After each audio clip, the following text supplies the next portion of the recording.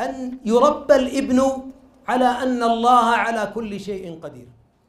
وذلك بغرس أسماء الله وصفاته التي تؤثر على ثقته في مولاه.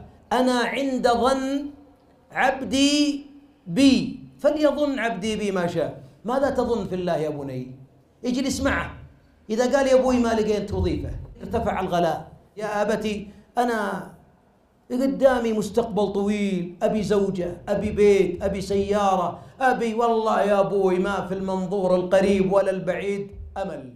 قلت أمل في المخلوقين صحيح أما في الخالق فلا يا بني هل خلقك ليضيعك؟ هل خلقك ليشقيك؟ الله لطيف ومن أثر لطفه أنه يرعاك من حيث لا تعلم. يا بني الله أعطاك رئة وتتنفس أعطاك كلى وتعمل. أعطاك عين وتنظر. هذه النعم التي أنت فيها يا بني لأنه لطيف.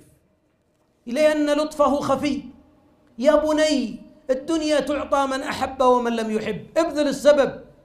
وذلك بالجلسات الإيمانية لرفع مستوى اعتماد قلوب الأبناء على الله.